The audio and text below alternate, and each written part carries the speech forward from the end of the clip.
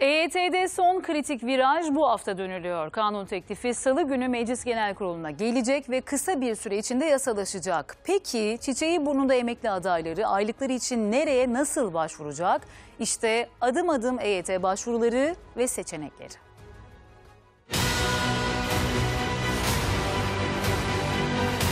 Komisyondan geçti sıra genel kurul sürecine geldi. EYT için büyük gün salı. Salı günü komisyonla görüşmesi biten EYT'yi genel kurula görüşmeye başlıyoruz. Ve gözlerin çevrildiği nokta bir kez daha sosyal güvenlik kurumları olacak. Emeklilikte yaşa takılanlar düzenlemesi meclisten geçtikten sonra resmi gazetede yayımlanarak hızla yürürlüğe girecek.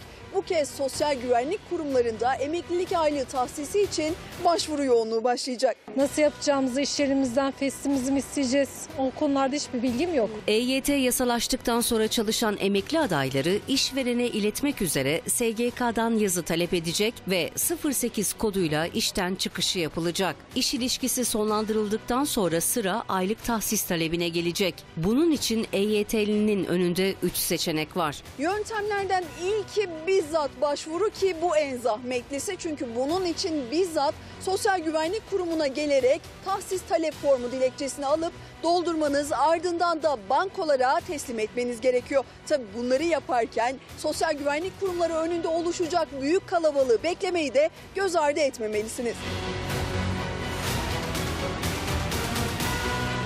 Başvuru yapmanın en kolay ve zahmetsiz yoluysa internet üzerinden yapılacak başvuru. Bunun için yapmanız gerekenler de oldukça basit. Önce e-devlet şifreniz ve TC kimlik numaranızla e-devletinize giriş yapıyorsunuz. Ardından önünüze gelen ana sayfaya arama çubuğuna gelir, aylık, ödenek, talep belgesi seçeneğine bastıktan sonra önünüze gelen sayfadan yeni başvuru sekmesini tıklıyorsunuz ve tahsis talep türüne yaşlılık aylığı dedikten sonra sigorta türünüzü seçiyorsunuz. SSK'lıysanız 4A, Bağkurluysanız 4B seçeneğine tıkladıktan sonra başvur diyorsunuz ve bir sonraki sayfaya ilerliyorsunuz. Maaş ödemesinin yapılacağı banka ve şube seçildikten sonra iletişim bilgilerinin eksiksiz doldurulması gerekiyor. Bir başka yöntemse Sosyal Güvenlik Kurumu'nun internet sayfası üzerinden alacağınız gelir aylık tahsis belgesini doldurduktan sonra bir zarfın içine koyarak